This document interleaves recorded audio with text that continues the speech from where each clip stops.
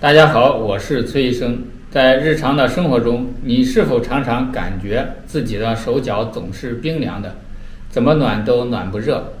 一到了刮风下雨、温度降低的天气时，骨关节也开始疼痛，这是怎么一回事呢？这些问题在中医上称之为痹。什么是痹呢？痹是来自于外界的风寒湿这三种气杂交而形成的。意思就是说，如果我们身体的阳气不足，比较虚弱的话，一些侵入体内的啊风气、寒气、湿气，就会滞留在我们的关节、经脉、肢体里边。这些邪气滞留在身体，就会阻碍我们的气血正常运行，从而就会引发疼痛病。所以，总是觉得你的关节里呢有疼痛感的话，那就说明你的体内。过于阴寒，久而久之，体内的阴气无法得到阳气的推动与运化，这时身体就无法吸收养分。如果体内的气血津液运行不畅的话，就会出现瘀阻，津液凝聚在一起，再加上痰和瘀一起滞留在体内，阻碍经络，这些病邪就会入骨，从而就会导致身体出现关节疼痛。肿胀、僵硬等一些病理现象。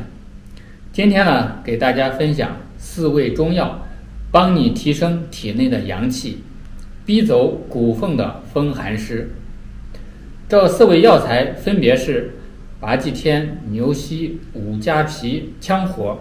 我们先来看看这拔济天，它是一味补肾阳、强筋骨、祛风湿的良药。其温和的性质，在补阳的同时，还不会伤及阴气。